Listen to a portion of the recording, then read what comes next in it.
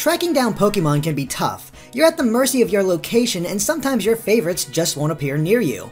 But did you know that one of the best ways to potentially catch rare and hard to find Pokemon without traveling far is by hatching eggs? Of course, you need to actually get an egg first. You'll find them randomly at Pokestops, and they come in three varieties 2 kilometers, 5 kilometers, and 10 kilometers, or about 1 mile, 3 miles, and 6 miles respectively for us Americans. Those distances denote how far you have to walk for each of them to hatch, after putting them in an incubator. Now thankfully, you start the game with one incubator already, which has infinite uses. But the catch is that each incubator can only hold one egg, so you'll need to pick up normal incubators if you want to hatch more than one egg at a time. You can either buy them in the shop or earn them when leveling up. But normal incubators can only be used three times before breaking. Now there are a few rules when it comes to hatching eggs. For one, the Pokemon Go app has to be open to register the distance that you travel. Secondly, you can only hold a maximum of 9 eggs at a time. If you're maxed out, Pokestops won't give more until you've made room. And finally, if you go too fast,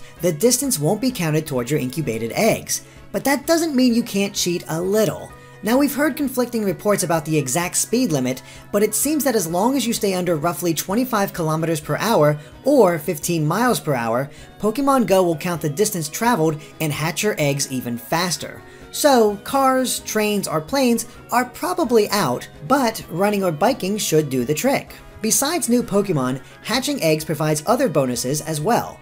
Players earn 1000 XP for simply hatching the egg, and an additional 500 XP if it's a new Pokemon. You'll also receive Stardust and that Pokemon's candy, and the higher the CP of the hatching Pokemon, the more you'll get. But you might be wondering which Pokemon you can hatch from eggs. And as it turns out, almost all of them. The only exceptions are Ditto, Evolutions, and Kanto's legendary Pokemon. So, no Articuno, Zapdos, Moltres, Mewtwo, or Mew.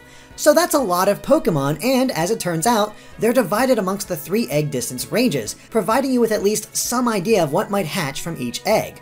And thanks to Serebii.net, we have the full list.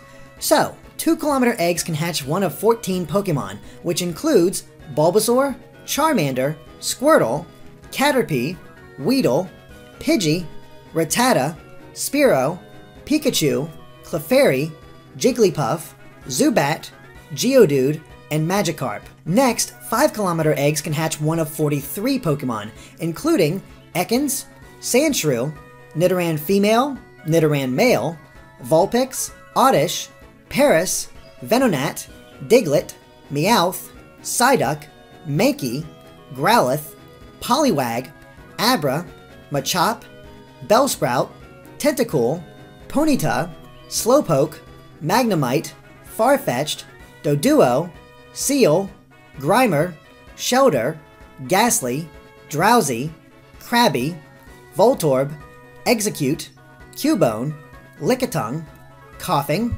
Rhyhorn, Tangela, Kangaskhan, Horsea, Goldeen, Staryu, Mr. Mime, Tauros, and Porygon. And finally, 10 kilometer eggs can hatch one of 16 Pokemon that include Onix, Hitmonlee, Hitmonchan, Chansey, Scyther, Jynx, Electabuzz, Magmar, Pinsir, Lapras, Eevee, Omanyte, Kabuto, Aerodactyl, Snorlax, and Dratini. We hope this excellent guide goes over easy and helps you quickly find new and different Pokemon to fill out your Pokedex. If you have any egg hatching tips of your own, let us know in the comments. Thanks for watching and be sure to subscribe to GameXplain for more on Pokemon and other things gaming.